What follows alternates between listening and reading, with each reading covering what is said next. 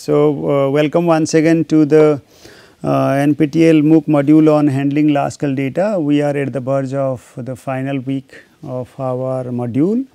Uh, we have already started discussion of the panel data in the last lecture and last lecture was purely conceptual, purely conceptual of panel data. I, al I always suggest everyone to uh, not to miss the previous lecture because that contains the background of the panel data any word we are using, any you know term you are using, we have already clarified in the previous lecture. Okay, so that is my suggestions for the participant to uh, certainly go through or just have a look. You will you will be you know motivated to go for panel data analysis further. Now, in this lecture, we will have uh, clarification related to panel data models, uh, which type of models are used and why they are used. Okay. So, uh, here uh, in, in social science especially in economics data sets combining uh, time series and cross sections are very common. These data sets are rich source of information about economy. Uh, analysis of these data sets always allow, allow always allows us research, allows researchers to learn about economic phenomenon or, or processes uh, that accounts for heterogeneity across uh, entities and their dynamics also or the effects of the changes that are not captured in cross section analysis. Panel data model examines uh, group uh, effects that is individual specific okay, or, or, or, time effects or both okay. individual specific basically a group effects that is called group effects in panel and time effects or both together in order to deal with the heterogeneity or individual uh, effect that may or may not be observed. Coming to the model, uh, let us start with a simple ordinary least square model uh, y is equal to alpha alpha plus uh, you know beta x plus epsilon. Okay, we have already clarified y dependent variable alpha is the intercept then uh, beta is the regression coefficient x is the vector of independent variables and uh, epsilon is the error term. In this case, uh, you know we are uh, trying to uh, pool this data over time and space to make it panel format. Okay. Now, here we are using the subscript 2 subscript I mentioned from the beginning that panel comes with the 2 subscript subscript i and t. Now, what we are mentioning uh, carefully that i and t subscripts in this model like you know y i y i t alpha plus beta x i t plus epsilon i t uh, here I and T are added to the equation that denotes units and time period respectively. Uh, there is uh, not much difference between these two equation uh, except that there are there are repeated observations on the same units okay? Because of the time uh, variable. The above equation is known as constant coefficient models okay constant coefficient model uh, because we have included a constant uh, coefficient also in this model. Uh, that assumes uh, that the regression coefficients are con constant across units and times uh, time period. Okay. So, that is basically called constant coefficient model. Now, uh, the general modeling framework for the panel data is like this. like YIT the constant coefficient is not mentioned rather it is mentioned with uh, this term uh, and without uh, the the t component okay the time component term. Like know here x variables are actually time variant and the z variable are actually the the individual or space group specific variable. Usually uh, sometimes unobserved okay, uh, like uh, sex, race, location or unobserved variables such as family specific characteristics, individual heterogeneity in skill, preferences etc.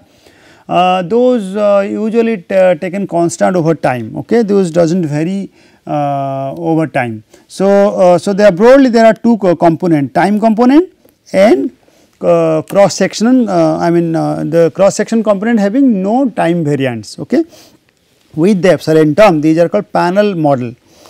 Now, here the, the error term uh, that varies uh, over uh, the individual as well as over time okay, individual uh, uh, uh, as well as time.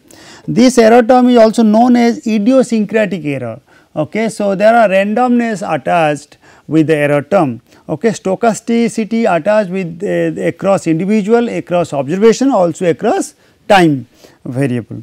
They also uh, the famously used concept called idiosyncratic errors because the change the, the, the, the, change uh, they change across i as well as across t not just i across t also. So, these are called idiosyncratic errors alright. So, different estimation techniques adopted based on the assumption about x, z and uh, the error term. Now, let us come to the estimating techniques. There are broadly three uh, estimation technique discussed in panel. One is called pooled OLS model, fixed effect and random effect model. You might have heard about these uh, you know uh, majorly these two, but most importantly fixed effect is you know used largely but we will also discuss pooled uh, you know OLS model as well. Now coming to the panel uh, data methods, uh, this uh, this can be divided into two broad categories. One is called homogeneous panel uh, data models and heterogeneous panel data model. What do you mean by homogeneous panel data model? It, this assumes that the, the, the that the model parameter are common across individuals the parameters we consider are actually common across individuals across i term we are taking the, the, the parameters are co considered to be uh, common the, the estimated parameters to be common where in case of heterogeneous uh, panel data model uh, you know uh, this allow for any or all of the model parameters to vary across individuals okay the the parameters that vary across individuals are uh, heterogeneous uh, panel data now, homogeneous panel data uh, is usually called pooled models. Okay, in case of pooled, we have to make the variables to be you know uh, same name uh, to be same. Okay, the so the estimation the estimator for across individual uh, or the, the, the parameter to be estimated uh, across the individual to be same, isn't it? Whereas in case of heterogeneous panel data model, we since we do not have the same parameter uh, across individuals, we need to take fixed effect and random effect uh, models uh, in this particular case, especially for the case of heterogeneous panel data. Now, let us compare pooled OLS, uh, understand pool, pooled OLS, let us understand pooled OLS model as the first category of the uh, panel format. In that case, uh, we said that that does not vary, uh, the parameters does not vary over time, okay. But, but uh, you know um, um, uh, that, that, that parameters are, are actually you know going to be constant for uh, the observations, okay. So, that is the reason why parameters are not added with subscript i or t, alright. So, here the uh, alpha and beta you look at we are not adding the subscript so, the above model is also called a homogeneous model not the heterogeneous model. So, therefore, uh, the constant alpha is the same across individuals and time. Uh, the coefficient beta uh, is constant across individual and time as well. Individuality of each subject is subsumed in the error term. Okay, so, the error term actually um, you know subsume uh, the individuality of the uh, um, data okay, or information. Pooled uh, OLS uh, ordinary least square model treats a database like any other cross sectional data ignores that the data has a time and individual dimensions it simply consider cross section uh, units, but there are some problems we are going to discuss. That is the reason why assumptions are similar to that of the ordinary least square uh, model. Now, revisiting the assumption of OLS uh, especially in the case of pooled uh, data there are some challenges. Dependent variable is a linear function of set of independent variables and disturbance term. So, that is the standard assumption and the model is linear in parameters. Okay. Disturbances are not correlated with the regression uh, or regressors. Okay. Uh, the error term should not be correlated with the regressors that is called strict exogeneity. Uh, of all, all, past, present and future time period that has been uh, pooled together in, in the data it rules out lag dependent variable. Okay. The idiosyncratic error, error is uncorrelated with the individual specific effects. Okay. Uh, those are the assumption the expected value of disturb, disturb, disturbance term is therefore 0. So, disturbances are homoscedastic or that is having same variance and uncorrelated uh, in nature these are called having non autocorrelation. Now consider a basic panel model, start with a basic panel model then. The basic panel model comes with uh, you know beta x the coefficient then uh, you know uh, the, the, the time variant uh, variable with and, and then time invariant variable okay that is this is a basic panel model alright. Now here we are writing uh, another equation uh, uh, giving information about uh, the, the, the constant term varies across individuals. Okay. Uh, so, in that case what, what is going to happen? Uh, this model is a classical linear regression model if alpha contains only a constant term okay B because beta x is, is, is you know explained with the change in the you know the the time variant um, observations. Now alpha is contains a constant term and then ordinary least square provides consistent and efficient estimates of the common alpha and the uh, slope vector beta all right. Uh, now as alpha i, uh, alpha i is time invariant we are uh, once again mentioning because t component is not attached in alpha i. Uh, mm, uh, because it varies across subject and is constant over time for a given subject. The problem arises when alpha is unobservable okay and uh, as we cannot cannot measure its uh, contribution to the model. Since alpha i is mentioned and that is not observable then that is really a problem uh, to the model. How it is uh, let us explain it. For example, in, in analysis of effect of location and family income on women entrepreneurs from uh, which culture is always be a missing or unobservable uh, variable uh, which is not actually observed. So, how to capture it uh, that is basically representing our alpha in this case.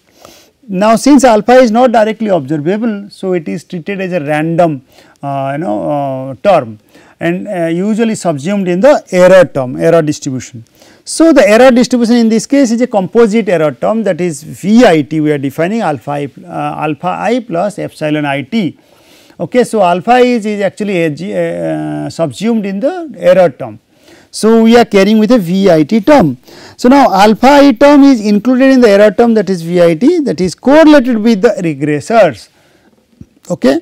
Now, so since it is subsumed, uh, uh, know, uh, subsumed in the error term that is obviously correlated with the uh, regressors. In this case, we have a violation of key assumption of the standard OLS uh, model okay, or the classical linear mm, uh, regression model. So, the error term is not correlated with the regressors. So, disturbances uh, may not have constant variance, but vary across individuals okay, and that is basically uh, committing with an error called heteroscedasticity all right. Hence, OLS estimator is no longer defined to be blue uh, Best linear unbiased estimator uh, then uh, but but there are other ways to deal with these problems such as fixed effect and random effect model that captures this heterogeneity. Now coming to the clarification of fixed effect model then last one will be on the random effect model. Fixed effect model is is, uh, is the model uh, uh, the individual specific effect is a random variable.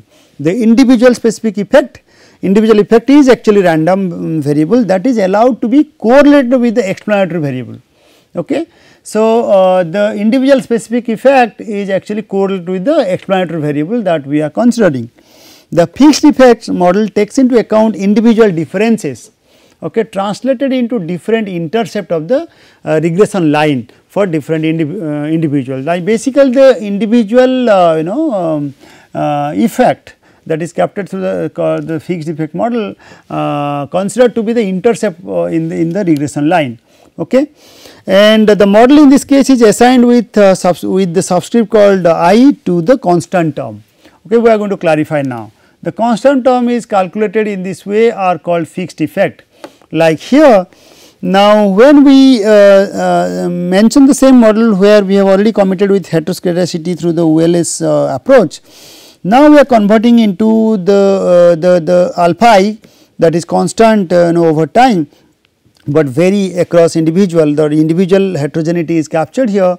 Uh, now this does not vary with t but uh, so it is unknown intercept for each entity okay. Uh, the regression line is uh, raised or lowered by a fixed amount for individual that is i. The regression line with a constant term will be actually uh, adjusted either higher or lower depending upon the uh, alpha i. In this case the number of parameters would be then k plus k plus n as we have n individual effects. Okay. So, n individual effects are there and accordingly we can find out all right. Uh, so, okay. Now, as we do not know the statistical properties of uh, alpha i, it can be eliminated from the model. Now, the question here since it violates the OLS properties or the assumptions, um, uh, especially the problem with heteroscedasticity was there. So, alpha i was problematic. Okay, so, if you can eliminate uh, alpha i from the model then you know uh, we are very much uh, assured with the standard calculation. Estimation of the model parameter uh, and elimination of alpha i can be achieved using one, one of two estimation technique. There are two approaches largely we are going to uh, discuss. Okay, so, within estimation or uh, uh then least square dummy variable estimation LSDV famously known as. Okay, so, within a within group we can eliminate uh, since it varies with the group. So, we can eliminate with the average impact within the group then that is called within estimator. Then second one is through dummy variable.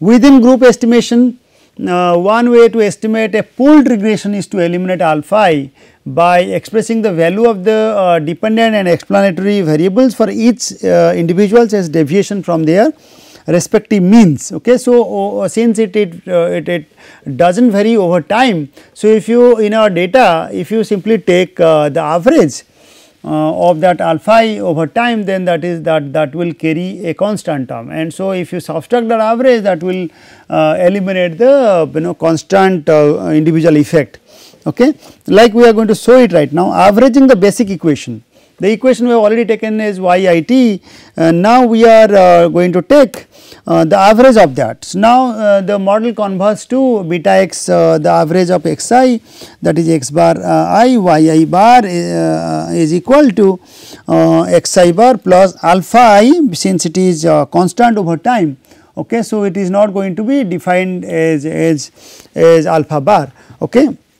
Uh, so, uh, simply it is uh, alpha i because it varies from, from person to person not over time alright but the epsilon term added with a time because you are dividing the time uh, you know time average. So, uh, all are these are in average this is in average this is in average but this will be a constant once we take the uh, average term of it ok. Now, uh, so here uh, uh, what is the average because 1 upon t 1 upon t sum of the, the average from t to total time period uh, 1 to t time period of yit that will give the average of this similarly for other terms also. Okay.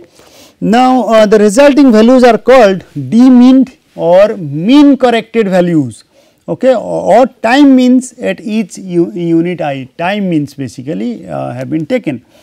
Uh, next step is to subtract uh, the, the, uh, the, the original model to the average uh, you know model the average transform transformed model. So, now what we have take the uh, yit minus uh, y, uh, yi bar because t has been eliminated in this model. So, what is left here because since alpha alpha i or uh, alpha is nothing but alpha bar is equal to alpha bar every time. Okay. So, basically alpha is alpha is every time it is alpha i. So, uh, even average we have taken alpha i remains. So, if you take subtract both the equations so alpha i cancelled in both the case. Okay. So, what is left here is simply the net change uh, from its, its average. So, now uh, it seems as, as if we are left with a standard you know uh, you know regression equation. Okay. So, hence the effect is eliminated the average effect is eliminated that is 0. Now, uh, OLS can be applied this is what I just said OLS can be applied on above equation to estimate the parameter. One of the disadvantages of this uh, method is time invariant variables okay because time we have already eliminated okay so we are not going to capture the time invariant impact or effects. Alright. So uh, uh, since these are wiped out because of the differentiating technique or differencing technique. Another uh, disadvantage of this method is uh, when we difference a variable, we remove the long run component also uh, of that particular variable. Now, the second approach of uh, the uh, fixed effect model is called uh, least square dummy variable um, estimation. The least square dummy variable estimation is, is uh, uh, this, this allows the heterogeneity, okay, allows for heterogeneity among subjects also by allowing each entity to have its own intercept value, okay, like you know we have eliminated the individual impact okay alpha I have simply eliminated in the previous uh, you know within group model. Okay now in the LSDV we are not eliminating it. Rather we are putting them in different categories different dummies. Okay like uh, you know uh, in this the, the, in the same model framework uh, alpha uh, alpha has i subscript suggesting the intercept for entry uh, entity uh, would be different although the intercept may vary uh, across subject but does not vary over time it is time invariant. Okay so uh, so it has value but it is time invariant. The LSDV estimator is pooled to ls including a set of n dummy. Okay variable n dummy which i just mentioned uh, uh n dummy variables which identify the individuals and hence an additional n parameter. Since we are defining you know dummies to interpret it n minus uh, uh, parameters dummies are defined. If using separate intercept term we are left with n minus 1 dummy variables. Okay. So, n minus 1 dummy variables has been captured. Uh, uh, so, this uh, this is also called differential intercept dummy technique okay differential intercept dummy technique uh, so, in, in, in simple equation y, yit is equal to alpha 1 the, the time invariant uh, in invariant um, you know value we are just mentioning in terms of dummy right now. It has a constant uh, intercept with uh, first dummy uh, the second dummy till nth dummy. So, in total we are including n minus 1 dummy because we start with alpha 2 okay, dummy variables d2i is the first dummy variables with its uh, you know time time uh, uh, time variant you know explanatory variables and and its error term. So, equation 1 is known as one way fixed effects okay. So, this is uh, um, one way fixed effect because only intercept is allowed to differ between individuals okay. Uh, now, but time effect can also be incorporated by applying time dummies alright. This type of model is actually called two way fixed effect model. If we also find out the time uh, effect as well, time dummies could also be mentioned. There are some disadvantages of this uh, you know uh, dummy variable uh, technique uh, is that we are including so many dummies okay there are uh, for based on the nth observation if you are including n minus 1 dummies the number of estimator will uh, the, the parameter uh, actually becoming very high which reduces the degrees of freedom.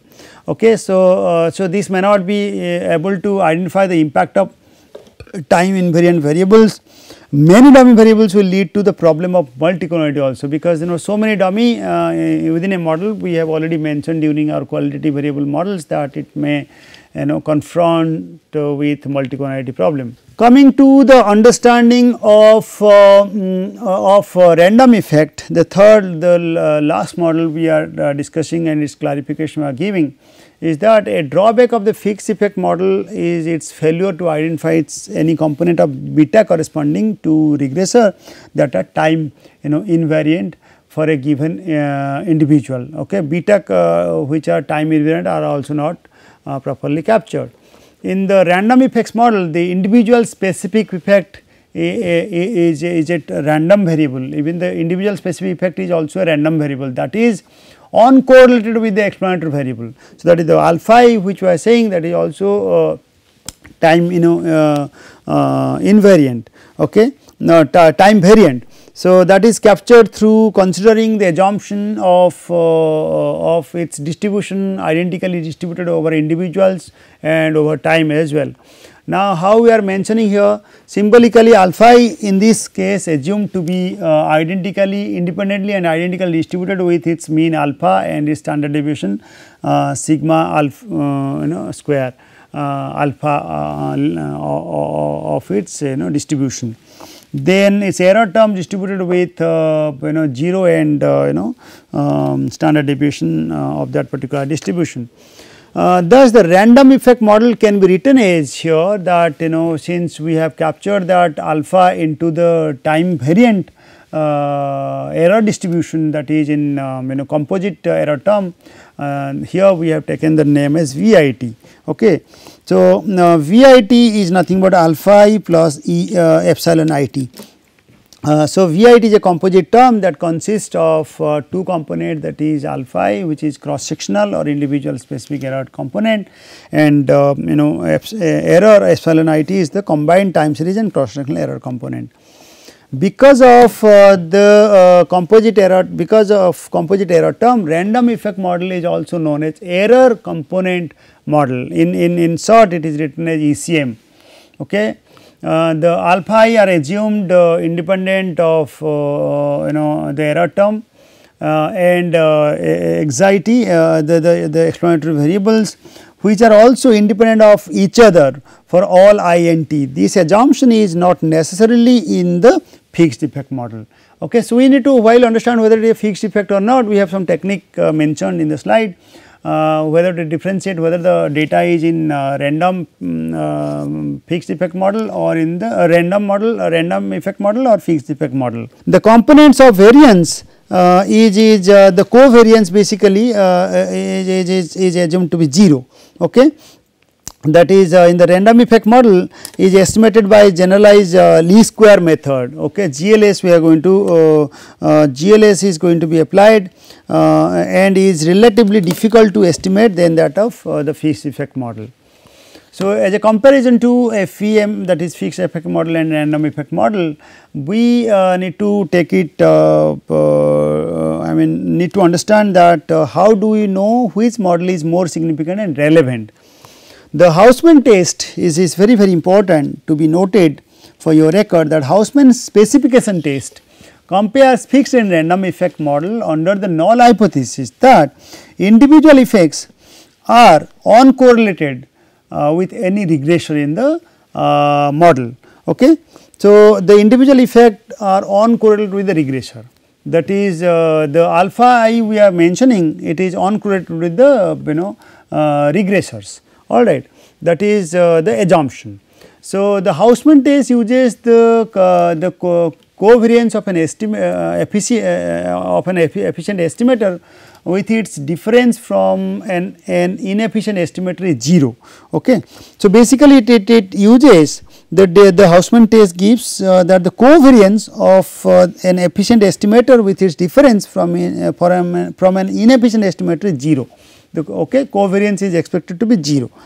If there is no correlation between regressors and effects, okay, then fixed effect and random effect are both consistent.